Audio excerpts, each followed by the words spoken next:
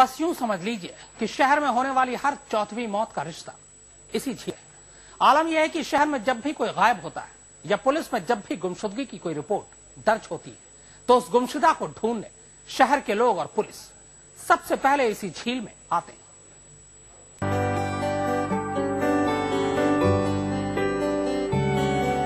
राजस्थान के जोधपुर शहर के किनारे है कायलाना झील।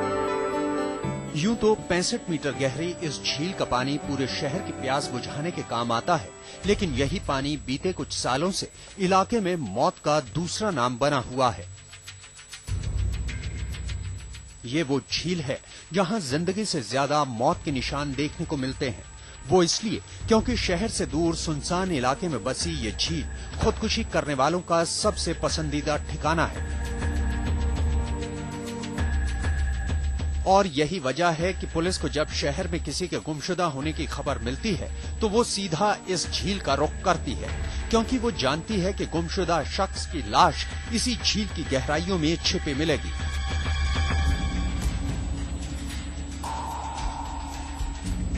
इलाके में खुदकुशी का खौफ कितना हावी है, इसका अंदाज़ा इसी बात से लगाइए कि झील के चारों ओर दीवार पर यहाँ तक कि दुकानों तक पर खुदकुशी न करने की अपीलें की गई हैं।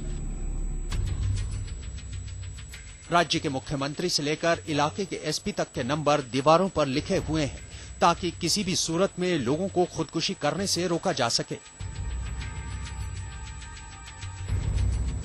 आलम यह है कि पुलिस के मर्ग रजिस्टर, यानी अप्राकृतिक मौत मरने वालों के बही खाते में जोधपुर की हर चौदहवीं मौत इसी कायलाना झील में डूबने से दर्ज हुई है।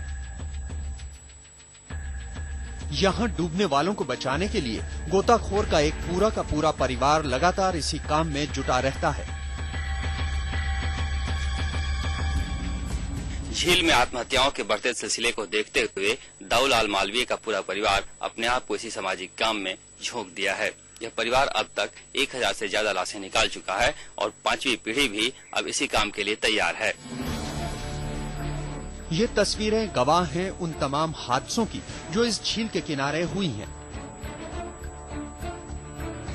यह सुसाइड नोट निशानी है उन जिंदगियों की जिन्होंने इस झील के किनारे आकर दम तोड़ा है आंकड़े बताते हैं कि झील में जिन 800 लोगों ने कूदकर अपनी जान दी है, उनमें से करीब 90 फ़ीसदी नौजवान हैं। ज़्यादातर मामलों की जाँच में मौत की वजह प्यार में नाकामयाबी बताई जाती है एक्चुअली सर, यहाँ पे प्रेम के जाल में फंस जाते हैं। पहले लड़का लड़की अपने प्रेम हो जाते हैं। फिर काफ़ी टाइम तक चलता है सिलसिला उनका। और फिर दोनों का ऐसा माहौल बन जाता है तो लड़की छोड़ के पापी लड़के पास जाती है कि वो बात है, ऐसे हो गई है। तो लड़की का एक पॉइंट होता है, ना तो घर की, ना घर जाने की रहती है, फिर वो कैलाना झील पे है जैसे अभी बीस पंद्रह पहले की बात है, एक लड़की यहाँ आई थी ऑटो में उतर के। उसने जाते छलांग लगा ली थी झील के अंदर।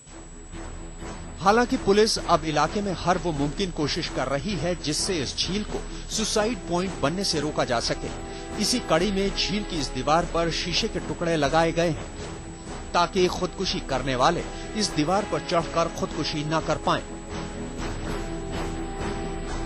हम सभी का यह ज़िम्मेदारी है कि ऐसे लोगों की हम पहचान करके, जितना उनको संबल प्रदान कर सके, जितना उनको सहयोग कर सके, उस दशा से निकाल सके, उस सिचुएशन निकाल पाए तो बड़ी उपलब्धि रहेगी। पुलिस तो अपना काम कर रही है, लेकिन ज़रूरत इस बात की भी है कि वो लोग भी ज़िंदगी से प्यार करें जो इस झील के किनारे मौत को गले लगाने का इरादा लेकर आते हैं। क्योंकि मुसीबत कितनी भी बड़ी क्यों ना हो, ज़िंदगी वक्त आने पर उसका हल निकाल ही देती है। शरद कुमार, जोधपुर, आज तक।